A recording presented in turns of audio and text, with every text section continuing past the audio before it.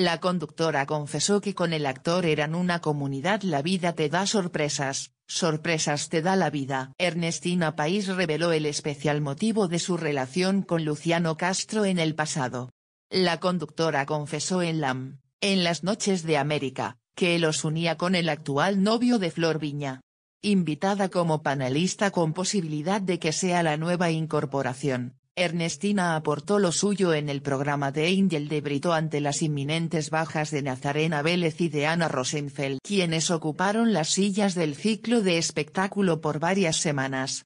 A la vuelta de una nota con Luciano donde el actor de El primero de nosotros contó cómo es su noviazgo con Flor Viña y reveló lo mucho que la tuvo que remar para que ella acepte ser su novia. País contó los detalles del vínculo que supo unirla a Castro. ¿Es cierto que fue niñero de tu hijo?, le preguntó el periodista, en voz alta.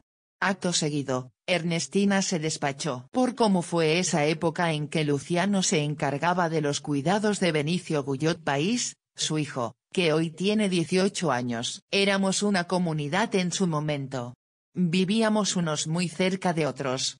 Estaba Rafa Ferro, contó País.